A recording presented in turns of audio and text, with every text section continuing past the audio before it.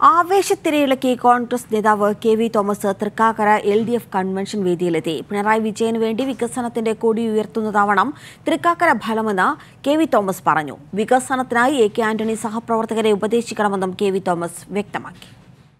തൃക്കാക്കര മണ്ഡലം L D F കൺവെൻഷനെത്തിയ കോൺഗ്രസ് നേതാവ് കെ വി തോമസിന് ആവേശകരമായ സ്വീകരണമാണ് പ്രവർത്തകർ നൽകിയത്. മുദ്രാവാക്യം വിളികൾക്കിടയിലൂടെ വേദിയിലെത്തിയ കെ വി തോമസിനെ L D F convener E P Jayarajan shawl അണിയിച്ച് സ്വീകരിച്ചു. എന്തുകൊണ്ട് ഇടതുപക്ഷത്തിനൊപ്പം നിൽക്കുന്നു എന്ന് വിശദീകരിച്ചാണ് കെ വി തോമസ് തുടങ്ങിയത്. കേരളത്തിന്റെ വികസനം സാധ്യമാക്കാൻ കരുത്തുള്ള വികസന നായകർക്കേ കഴിയൂ. പിണറായി വിജയന് അതാകും. വികസനത്തിൽ അനാവശ്യ രാഷ്ട്രീയം കാണരുത്. കേരളത്തിന്റെ വികസനത്തിനായി എ കെ ആന്റണി കുറച്ച് ഉപദേശം സഹപ്രവർത്തകർക്ക് നൽകണമെന്നും കെ വി തോമസ് പറഞ്ഞു.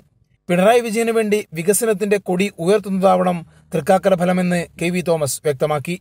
ഞാനൊരു കോൺഗ്രസ്സുകാരനാണെന്ന് പറയുമ്പോൾ ഞാൻ കോൺഗ്രസിന്റെ വികാരം ഉൾക്കൊള്ളുമ്പോൾ ഞാൻ വികസനത്തോടൊപ്പം പിണറായി വിജയനോടൊപ്പം എന്ന് പറയാൻ എനിക്ക് യാതൊരു ബുദ്ധിമുട്ടില്ല. എനിക്കൊന്നേ പറയാനുള്ളൂ ഈ തിരഞ്ഞെടുപ്പ് വികസനത്തിന്റെ പച്ചക്കൊടി ഉയർത്തുന്ന തിരഞ്ഞെടുപ്പായി മാറ്റണം.